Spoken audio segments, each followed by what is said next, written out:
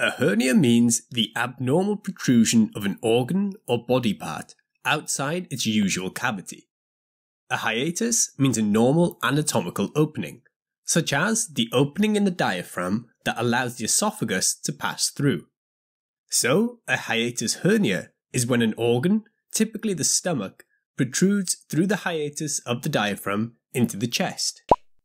Increased intra-abdominal pressure is thought to be the main risk factor, which can come from obesity or pregnancy. Chronic constipation can lead to frequent straining, which increases intra-abdominal pressure, as does chronic coughing or heavy lifting. Additionally, as people age, the muscles of the diaphragm become less flexible and lose elasticity, which can cause the stomach to remain in the chest following swallowing. Trauma, in particular seatbelts during car accidents, and previous surgeries may also predispose to a hiatus hernia. They may also be congenital, but this is significantly rarer. Most people with a hiatus hernia are asymptomatic. Given that a hiatus hernia is the most common cause for GERD, symptomatic patients typically complain of epigastric or retrosternal burning known as heartburn, regurgitation, an acidic taste in the mouth, burping or belching, and nausea. These symptoms are typically intermittent and worse after a meal. Other symptoms can include a persistent nighttime cough or wheeze, which can lead to people being diagnosed with asthma. Severe chest pain and shortness of breath can be present, which are often mistaken for a myocardial infarction. And it's also possible to have a bowel obstruction if the bowel loops also move into the chest, or if the stomach twists on itself, forming a volvulus.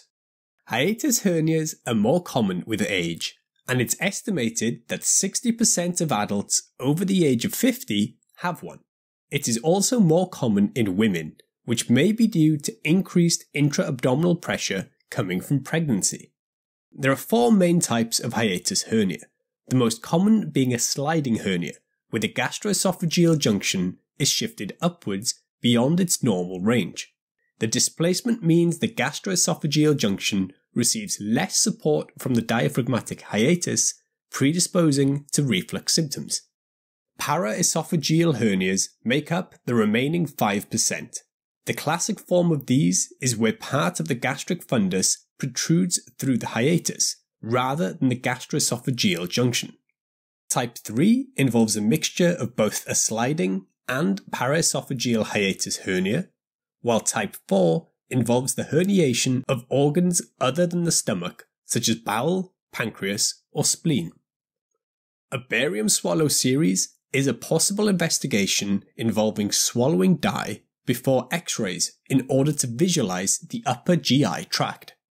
Endoscopy, which is the use of a camera to directly visualize inside the body, can be placed into the esophagus to evaluate for a hiatus hernia as well as look for any lesions in the esophagus.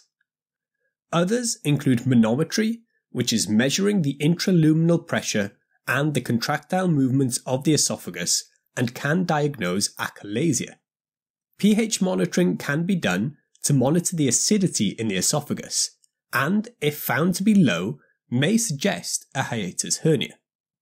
In asymptomatic patients who are found to have a hiatus hernia, no treatment is typically offered unless there is an anatomical risk of complications.